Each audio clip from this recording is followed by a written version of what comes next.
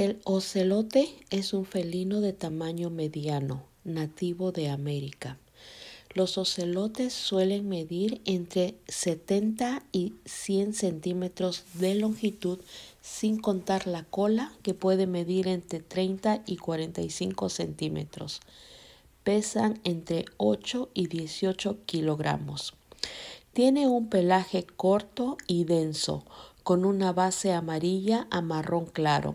Su cuerpo está cubierto de manchas y rosetas negras, con algunas rayas en la cara y el cuello.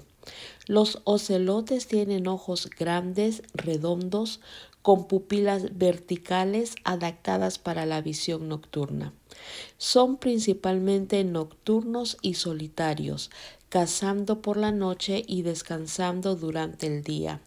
Son territoriales y marcan su territorio con orina y heces. Los machos tienen territorios más grandes que las hembras. Son carnívoros oportunistas, Cazan pequeños mamíferos, aves, reptiles y algunos insectos.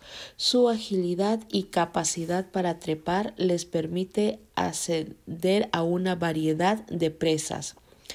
Prefieren hábitats densos como selvas tropicales, bosques secundarios. No tiene una temporada de apareamiento específica. Las hembras tienen un ciclo estral de 25 a 30 días. El periodo de gestación dura entre 79 y 85 días, tras lo cual nacen generalmente una a tres crías.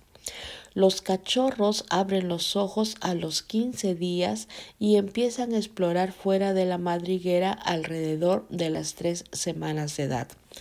El ocelote es una especie fascinante y juega un papel crucial en los ecosistemas que habita, ayudando a controlar las poblaciones de las especies que caza. Como cristianos nosotros podemos también ayudar a otras personas para que puedan conocer y amar a Jesús.